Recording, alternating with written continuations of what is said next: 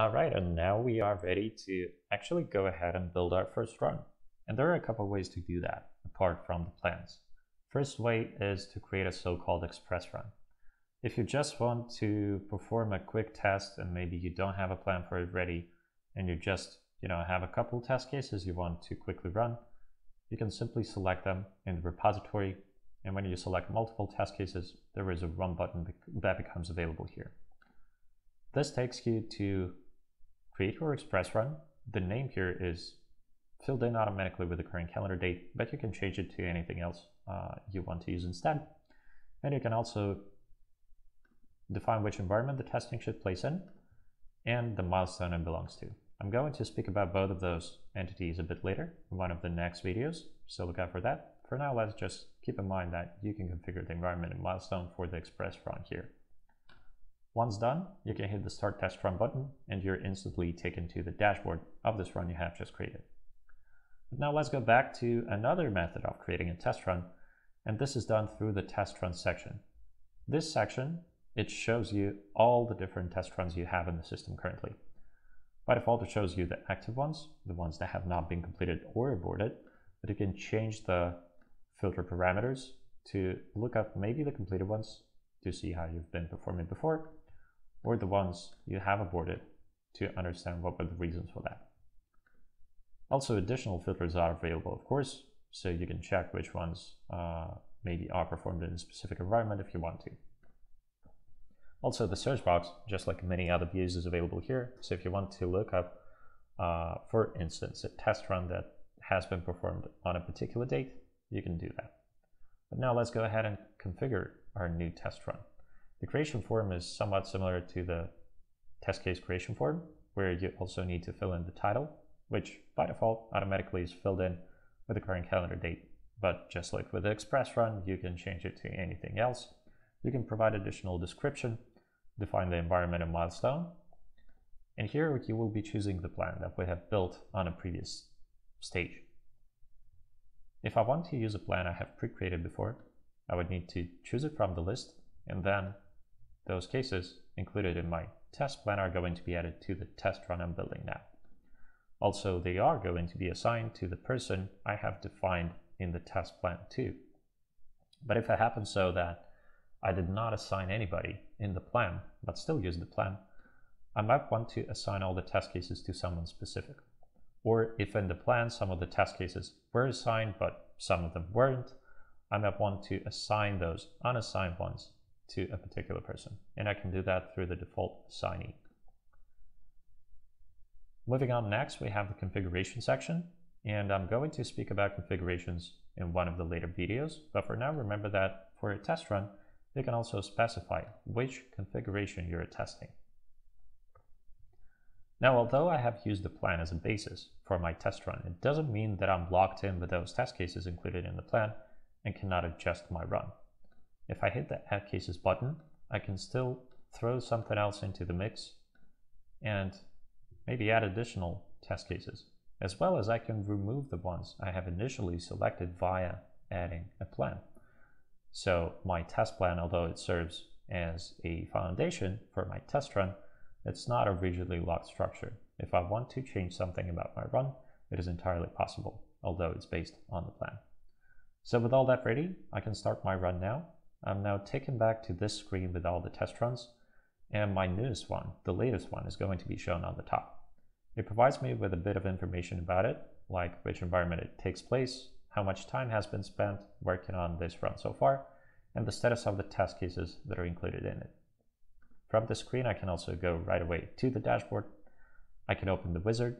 I can create a clone of this run, change some parameters of it, or delete it. However, let's go to the dashboard of the run. And this is just pretty much the same looking as it does for the express run too. So it's a common area. The dashboard shows you the full information about a test run in question, all the test cases it contains, the breadcrumbs for which suite test cases come from, who's the assignee, how much time has been spent, were the results that were filed for test cases. Of course, for me now it's pretty empty because I haven't even started working on this test run yet. Any test case can be edited right away from here. It can be us assigned to a specific person or unassigned. You can go to wizard on this case. You can view this test case or delete it too.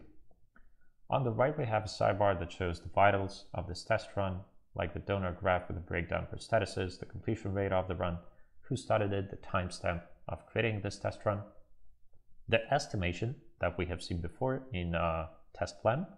So again, it takes into account all the previous performances of the test cases included into this current run we're looking at. And based on that information, it provides you with an estimation, how long a test run is likely to take based on how long it took in the past, based on how long those test cases have taken in the past. It also is going to show you the current time spent, so the actual time that the engineers have spent so far working on it, and the configurations uh, where the testing should be happening. From here, as you can see on the on the top of the page, I can open the wizard, which will take me to the first case assigned to me or unassigned, and I can start working on it. However, before we start working on it, let's take a quick detour to the settings page one more time because it also has uh, a few options for the test runs and the options for you to customize the behavior that is taking place during a test run. All of those options are in the test runs section, and I'm going to briefly speak about each one of those. So the first option to fast pass means that if you mark your test case in a run as passed, you don't have to leave any additional comment, you're just taken to the next one without any extra actions required. Autocomplete. This option, if turned on, it allows you to automatically complete a run if all the test cases have had a result recorded for them. Now, AutoPass is somewhat similar, but it applies to the test cases. As we will see, all the individual steps within a test case can have their own results as well. So if you mark all the test steps to reproduce as passed, this option will allow you to automatically mark an entire test case as passed too. Auto assigning is yet another option that allows you to automatically assign a test case, if it wasn't assigned, to the first person who opens it in the test run. Next option is the failure of the case on a step fail. As I mentioned before, steps to reproduce can have their own statuses, they can have their own results. So with this option turned on, you can make sure that failing a step of a case will automatically result in the failure of an entire case. Next up, we have uh, this option that allows you to add results for cases in closed runs.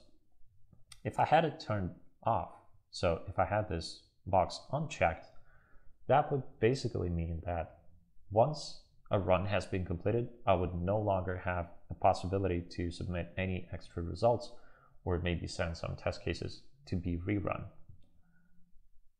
And uh, one, but, uh, one more option available here is the assignee result lock. That means that only the person that is assigned on a test case can submit results for it. Nobody else, they can, you know, they can open the test case, but they will not be able to submit results for it. So depending on your flow, depending on your processes, you can set those options differently uh, and get the, uh, get the behavior that you prefer. The final option here is the redirection. So where you are taken after you submitted a result for a test case, and there are three options here. You can stay on the same test case you have just submitted result for, or you can be taken to the first case in run that still doesn't have any result recorded for it yet. As well as you can just be taken to the next case in suite within a run. So having those options in mind, let's go back to the test runs and start working on my test cases.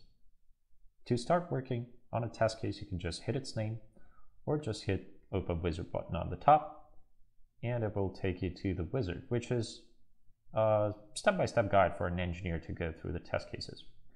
As you can see below the title of the test case, I have the results for the case itself. But if I scroll further and get to the steps to reproduce section, I'm going to see that every step itself can have its own result.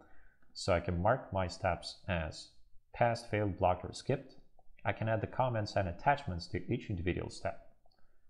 However, since I have the option to fail a case when a step fails turned off, failing a step does not result in failure of the case. I would need to fail the case manually still. However, on the contrary, if I had that option turned on, as soon as I have failed a step, my entire case will get marked as a failed one. Now for this one, I'm just going to mark it passed. And again, since I have the fast pass option turned on in the settings, I'm instantly taken to the next case in the wizard, to the next case I need to work on. For this one though, let's file a different result. So I'm going to pass the first step, I'm going to pass the second, but I'm going to fail the third, and then I'm getting blocked. So on the fourth step, I'm recording a blocked. In here, I can write a comment, maybe something went wrong, you know. And now I'm going to fail an entire case. As soon as I do that, I'm seeing this splash screen that allows me to add additional information about what went wrong. I can leave a comment component does not work. I can also adjust the time that I have actually spent working on it. Maybe I spent not just 40 some seconds, but rather 10 minutes making sure that it doesn't work. So I can adjust the time and record 10, uh, 10 minutes uh, that I was working on this test case in fact.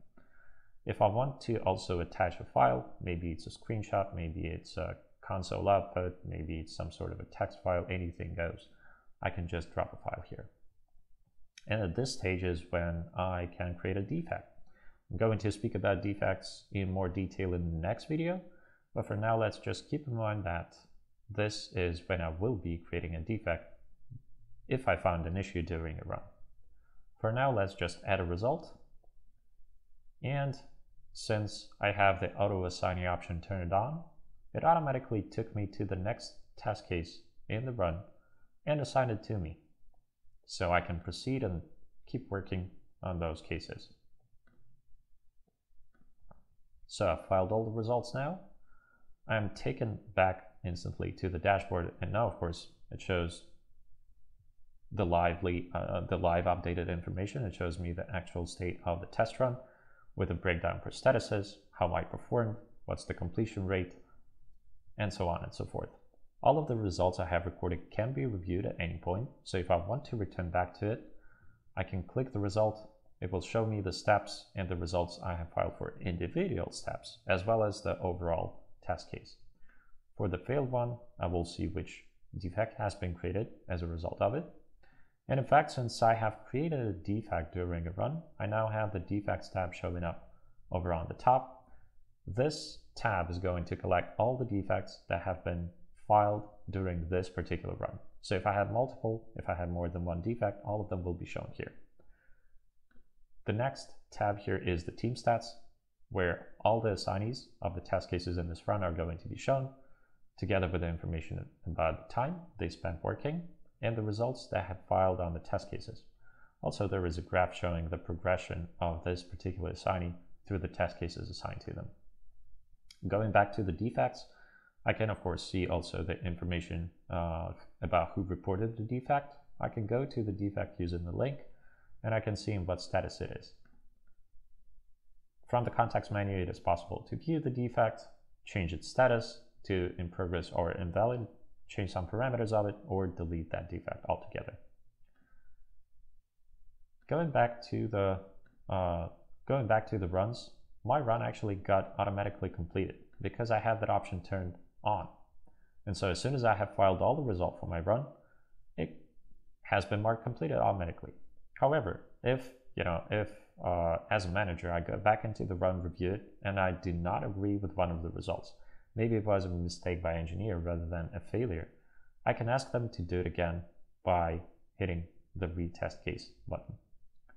Now, my run becomes active again, and in fact, my engineer will need to go into the test case and perform it again. So that's what I would do. I would try it again, and this time everything went exactly as it was expected, and I pass it this on the second attempt. My dashboard shows me now that there is more than one result filed for this test case. And going into the review of this result, I will see that there has been the first attempt where the failure has been recorded. The second result was a retest, and the third result finally was a success. And again, the complete button is no longer appearing here. So as soon as I submitted the final result, my run gets marked completed automatically. One great feature also that is available to you is sharing a report with third-party stakeholders who are not members of your account whatsoever. So you might want to provide them visibility into how you are progressing through testing, but not necessarily let them see the repository, let them see all the different things and entities within your account. So instead of doing that, you can just share report them, share report with them by creating this public link and sending that link to them. What they are going to see is going to be the same screen with a dashboard where they will be able to review the results, but you know, they will not be able to dig into the test cases themselves or see what else you have in the account. They will be limited to just this very run you have shared with them. You can also export your uh, test run into a spreadsheet if that ever needs to happen for you. And if you want to change the parameters of a test run at any point, you can edit it. So that pretty much sums up about the test run. In the next video, we're going to speak more about the defects and how those work. So stay tuned and switch to the next video.